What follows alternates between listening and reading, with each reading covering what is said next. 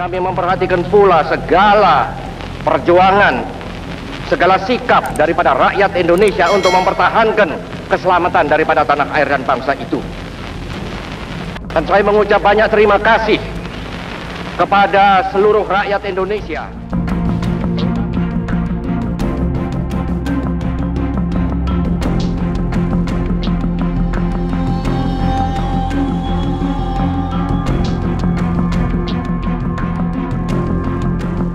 Assalamualaikum warahmatullahi wabarakatuh Ayuhas salik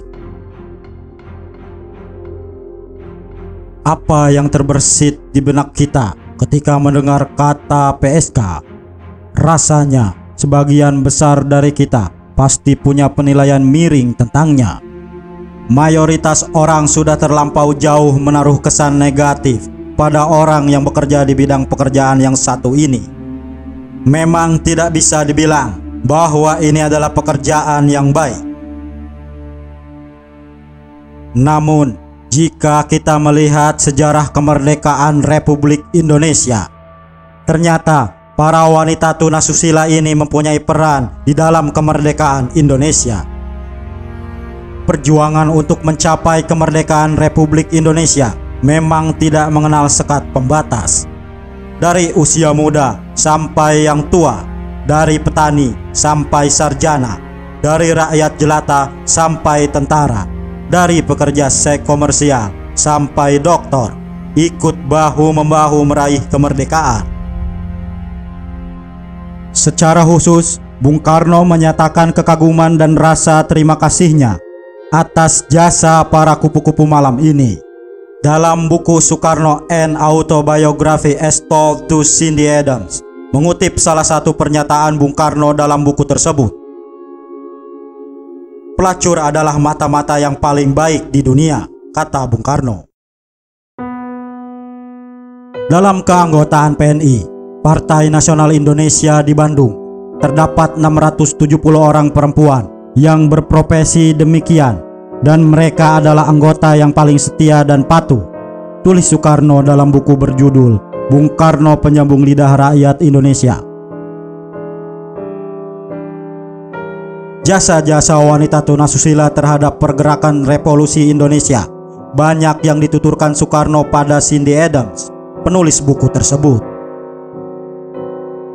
Selain informasi berharga dari para pemakai jasa yang kebanyakan polisi kolonial, mereka juga menyumbangkan uang dari keringatnya untuk kepentingan revolusi. Tugas mereka menjadi sumber informasi mengenai musuh tak dapat digantikan oleh pihak mana pun kala itu.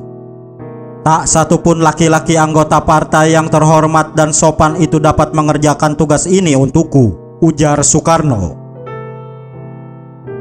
Soekarno juga menyampaikan para PSK bukan saja penyumbang yang menyenangkan, tetapi juga penyumbang yang besar dalam revolusi Indonesia. Mengutip dari buku Robert Cribb yang berjudul Para Jago dan Kaum Revolusioner Jakarta, mengisahkan mengenai penyelamatan oleh para PSK terhadap Bung Karno dan pejuang lainnya saat dalam pengintaian Belanda. Para PSK lah yang membantu menyembunyikannya di rumah bordil yang jadi sarang mereka.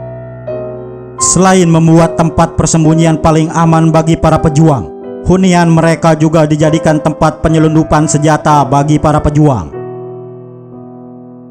Dikisahkan ada sebuah gerakan bernama Laskar Rakyat Jakarta Raya yang punya tujuan menyerang Jakarta dalam menaklukkan Jepang dan Belanda.